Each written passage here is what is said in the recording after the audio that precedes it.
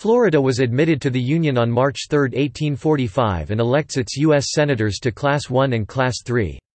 Florida's U.S. Senate seats were declared vacant in March 1861, due to its secession from the Union. They were filled again in July 1868. The state's current U.S. Senators are Democrat Bill Nelson serving since 2001 and Republican Marco Rubio serving since 2011.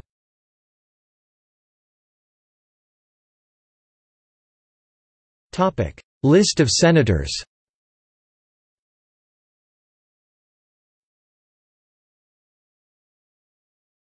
Topic: Living former U.S. Senators from Florida As of October 2016, there are five living former U.S. Senators from Florida, one from Class 1 and four from Class 3. The most recent senator to die was Paula Hawkins on Class 3 1981 on December 4, 2009. The most recent Class 1 senator to die was Lawton Chiles 1971 on December 12, 1998.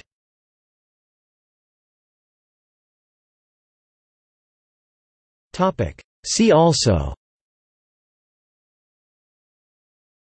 List of United States Representatives from Florida. United States congressional delegations from Florida